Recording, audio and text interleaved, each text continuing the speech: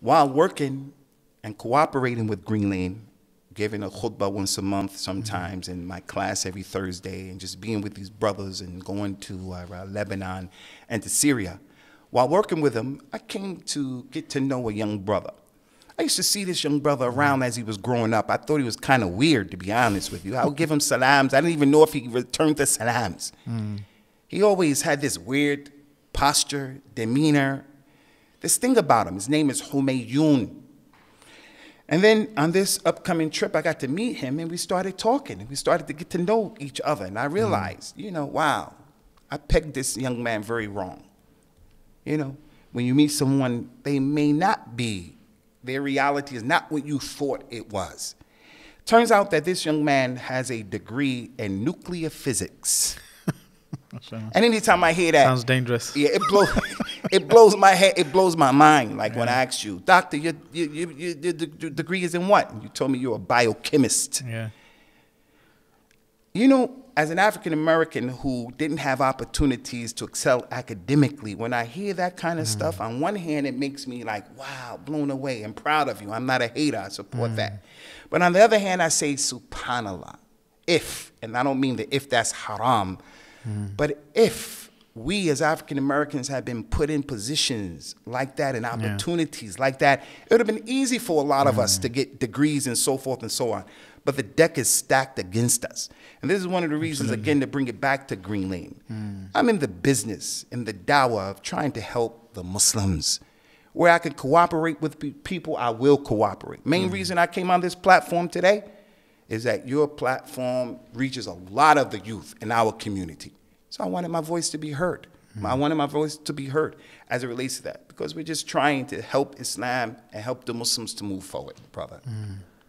Do you get some resistance from some people? I mean, you mentioned Salafia, how your vision for Salafia uh, in today's day and age is not just kind of the theoretical, but being practical, being out there, helping the community, uh, in being involved in activism, perhaps you might say, uh, engaging with the the local you know, uh, community, politicians maybe.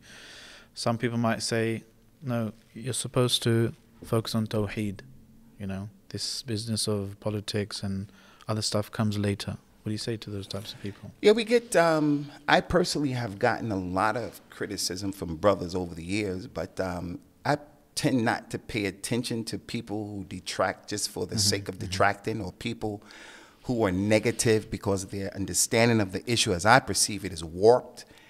I am not going to sit back and let someone tell me and superimpose on me the mm-hmm. understanding of the religion when it, it is clearly not going in accordance to what I understand. For an example, yeah. we've had this phenomenon like Sheikh Ali al Halabi, where a group of people are insisting you're outside of the sunnah. He's off of the sunnah. He's out of the sunnah. But they do it without wisdom. They do it without knowledge. Mm. What fundamental, what asl of the asul of the sunnah did the brother go against for him to be expelled?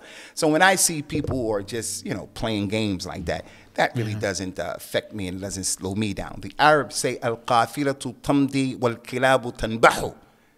The caravan with the, with the, with the, um, camels in it. You have a caravan of 30, 40 camels. They're going, and the dogs come in the desert and they start barking, start barking at the caravan. Not a single camel is going to start to stop and say, "Hey, dog, you, what's the deal? You just got to let him go. Keep it moving. Hey, hey, hey, you do your thing, and I'm not paying attention to you." So the people who want to criticize, and that's all they do is criticize. I personally don't have time for that.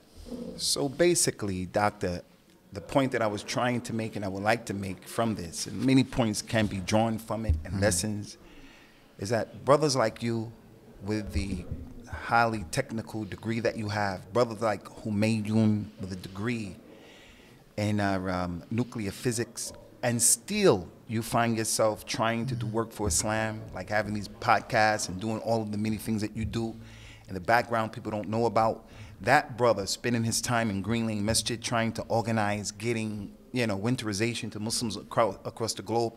I would just like to encourage all of the younger Muslims and brothers, the brothers and sisters, to understand wherever you find yourself, your degree, your profession, whatever you do, you have to find some majal, some opportunity where you're mm. going to give dawah a lot, to help the religion. That's the point that I wanted to make.